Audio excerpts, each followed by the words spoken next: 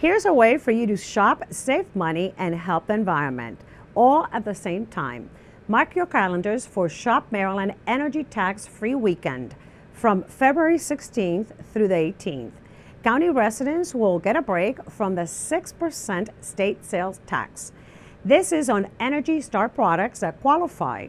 During that weekend, it means no taxes on Energy Star products such as air conditioners, washers and dryers, thermostats, and so much more.